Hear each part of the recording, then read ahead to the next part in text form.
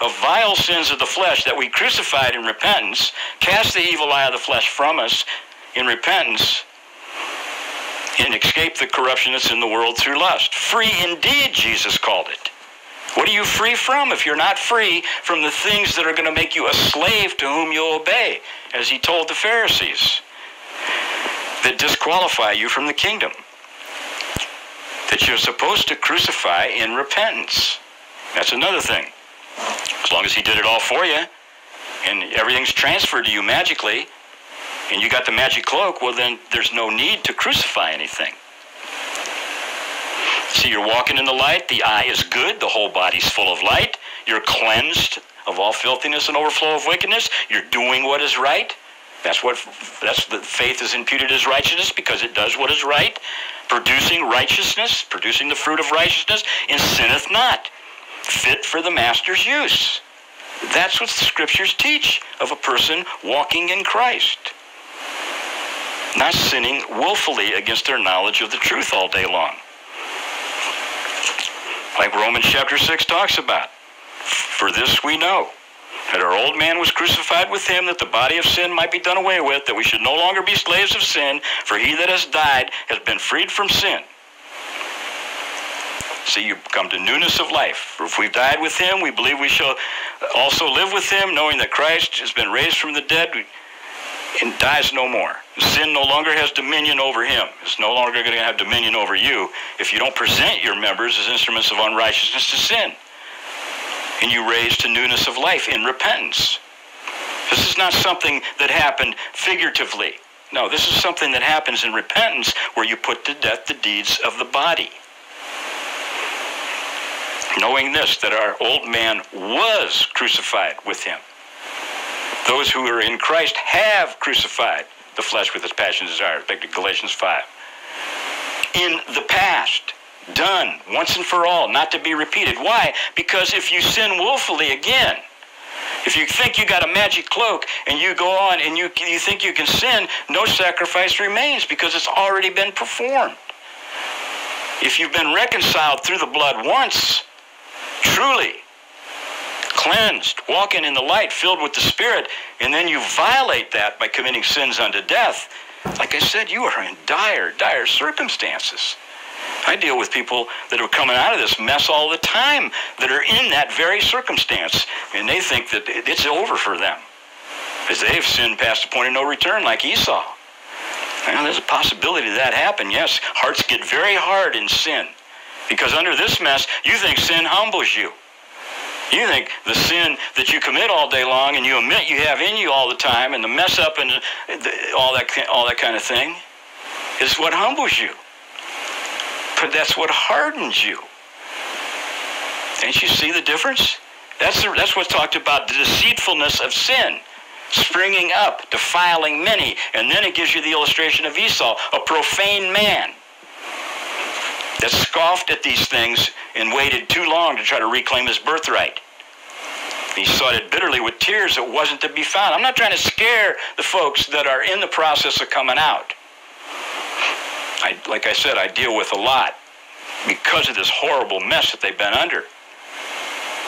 But yes, you should be in fearful of God. You should be in fear and trembling. Just come before Him and empty yourself of guile.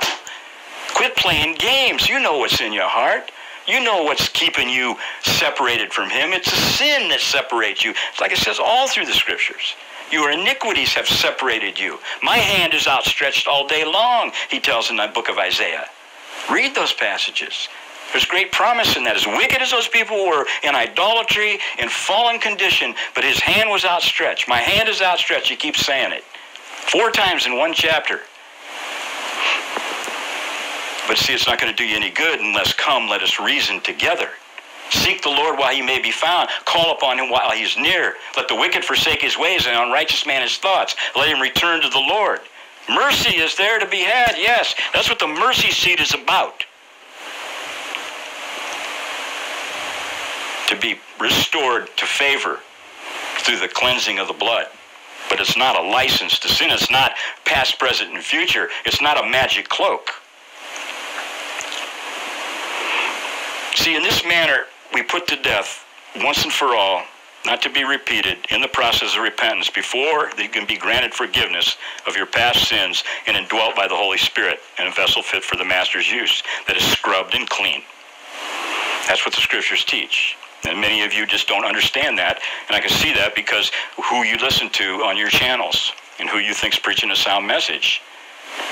Mixing all the error into what Christ did on the cross. No, Christ died on the cross to release you from the bondage of sin, not to take your place, not to become sin, not to have some punitive justice poured out on him instead of you. No punitive justice. There was no wrath involved there.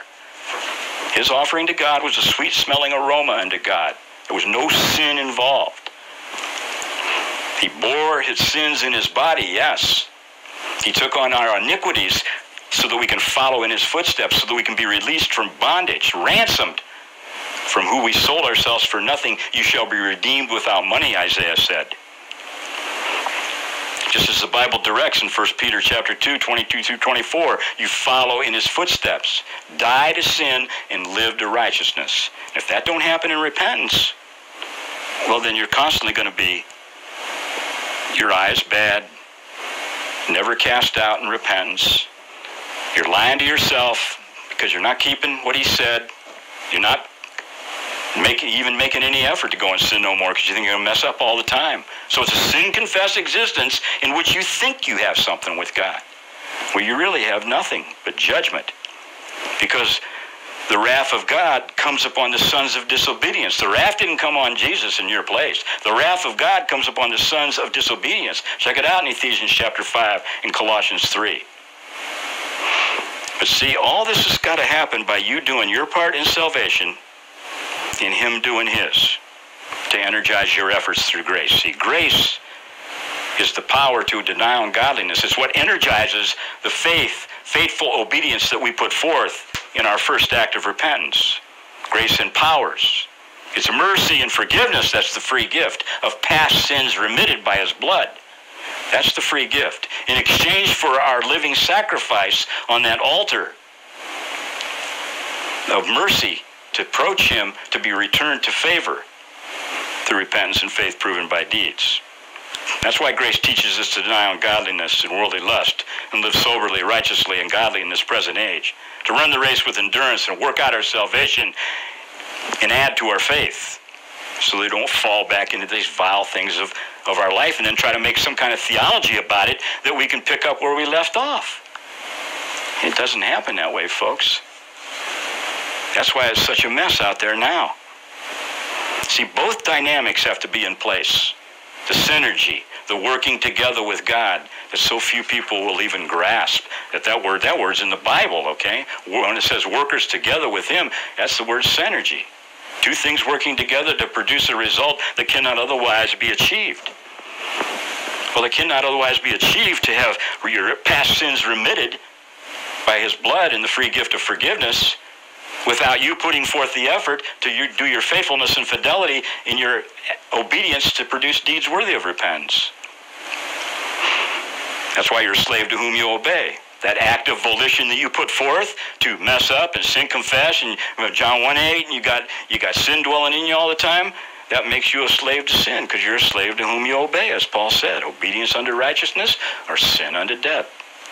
It's always the worst kind of sins. Always.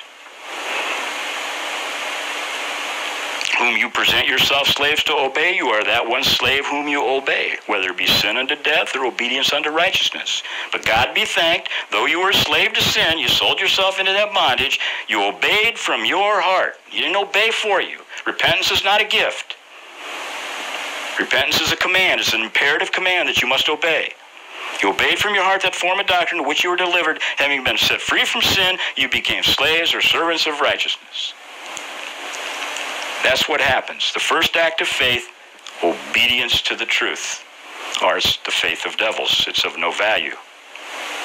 You commit sin, you're a slave to sin. You produce poieo, you're producing sin. So it's very dangerous for you to assume that you can commit sins unto death that are said to disqualify you from the kingdom in the scriptures very clearly, like all these people are I assume are talking about because that's all they all I see posted on the blogs and the channels. is constant falling into pornography and addictions and domestic violence and abuse of spouses and all, just even molestations.